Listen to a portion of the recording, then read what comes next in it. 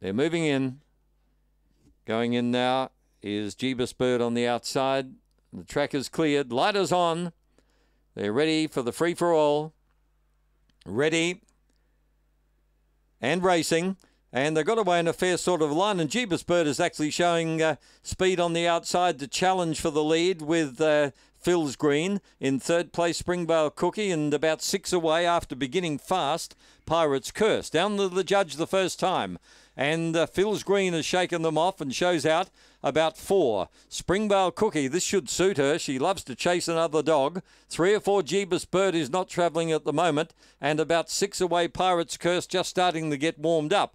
Off the back, Phil's Green is showing no signs of stopping. He's six or eight in front, the uh, bolter of the field, and he's going to bolt this in. He's about uh, six or eight and further ahead.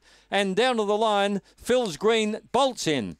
Maybe Pirates Curse from Springvale Cookie for second. It's very tight. And Jeebus Bird didn't stretch out properly tonight and has finished at the tail. Well, he's good when he sees the lure, Phil's Green. And he got a good look at it tonight. 43.60. Phil's Green, the winner, gave nothing else a chance.